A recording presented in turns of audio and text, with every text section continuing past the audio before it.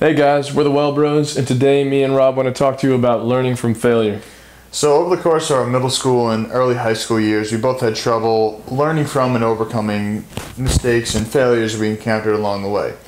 So, what we want to share with you guys is how to see these failures as opportunities rather than mistakes, and really taking the time to go back and reflect on those mistakes um, and really breaking them down into individual pieces and not focusing on the entire mistake or failure as a whole piece, but bringing down to the little bits and pieces that make the big picture. And that comes with one experience, but also mostly the awareness that you can do better and you have the opportunity to do better at these little things that will make the entire picture better, whether it be learning a language or getting better at basketball or whatever it may be. But taking that time to reflect has been very effective for me. I generally either journal or meditate, just sit with myself and take that time to think about what did I do poorly, what did I do okay but could improve on, and what did I do well. And not forgetting the pieces that we did well. We want to keep the attention on positives and what we can do better.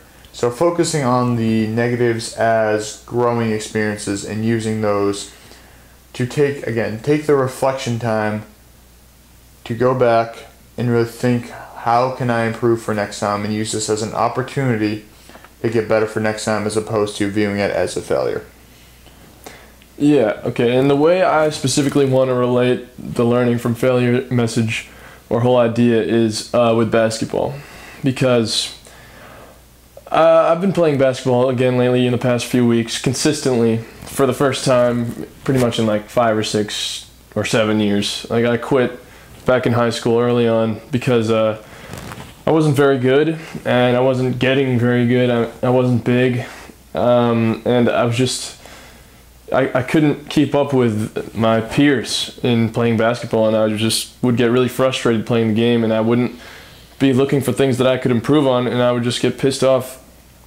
And I think the things that have changed since then is that I've learned the important facets of how to learn from failure, which are A, don't get really pissed off and frustrated, like control your temper, and B, um, you need to approach it with the mindset that um, you have responsibility for certain things, like you have control over certain things when you're trying to learn something. And everything else that's outside of your influence, you need to just put down and let go of. Like don't be dwelling on it. Don't don't be comparing yourself to other people all the time. Like I would be playing basketball and I would just like everyone around me being much better and just get really pissed off. Or in the game when I'd miss a shot, get really pissed off. You know, have it stolen from me, get pissed off. And just I couldn't deal with all the frustration. And that, you know, part of that is definitely meditation since then and just growing up a little bit, the emotional maturity, but it's also definitely the fact that now when I'm in that situation, I always try to view a failure as something that I'm constantly improving on. Like I can be like grateful for a failure because it gives me insight to where my weaknesses are and what I need to be working on. And so I'm always trying to take responsibility for the things that I can control, like how much time I put in, how much effort I put in, and how precise and focused I am with trying to look at what I'm actually doing and adjust my course as need be, or just, you know, like say if I need to change my entire approach with a certain thing or just a technique tweak, or if I'm doing it the right way, I'm attempting to do it the right way and I'm just like not there yet skill wise and I just need repetition. Like it's important to be, be able to identify that kind of thing. And the other side of the coin of taking responsibility is not comparing yourself to or like getting caught up with things that are out of your control, like uh, not comparing yourself to other people being better than you at it.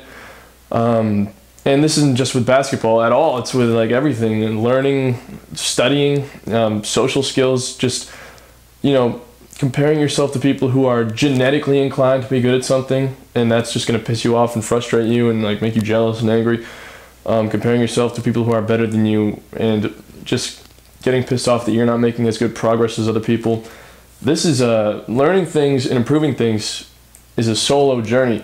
If you decide you want to do something, no one can tell you that you can't do it, but you can't be comparing yourself to people who are better than you and thinking, why can't I just be that? without putting the work in at the time and and um, it's just completely pointless and it's just going to get you caught up in you know negativity to be dwelling on people who are better than you or genetically inclined to be better et cetera et cetera i'm harping on this a, bit much but like it's important to just let go of things that you don't have control over that's just the main point i'm trying to make here And I think a lot of people have the common misconception too that once you get there, wherever there is success, you're good at this, that, whatever it may be, that there aren't going to be any more obstacles or hardships or mistakes.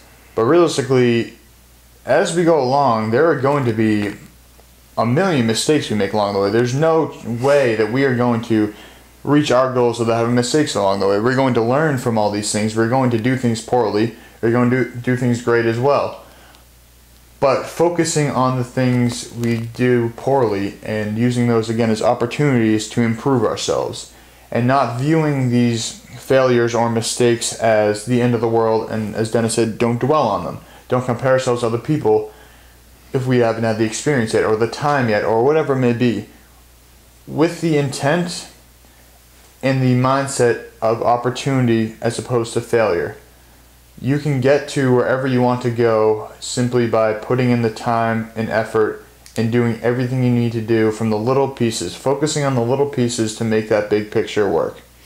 And that's, again, what we are trying to do ourselves and help other people realize because we took us a decent amount of time to figure this stuff out. So, yeah i hope some young kids see this someday because i feel like that's like the genre right there that most needs this advice yeah, I agree. yeah Um, but yeah, hope you guys like this video. Um, if you have any suggestions of what we could do better, any mistakes you think we're making, we'd be happy to hear from you. And if you anything else you want to share with us, so please like, subscribe, um, share this with a friend if you think it could be helpful to them or younger brother, sister, anyone who you think could hear and could benefit from this message. As we wish we had someone to tell us this or help us with this when we were younger. yes So until next time, I'm Rob, i'm dennis and we're the Well Bros. thank you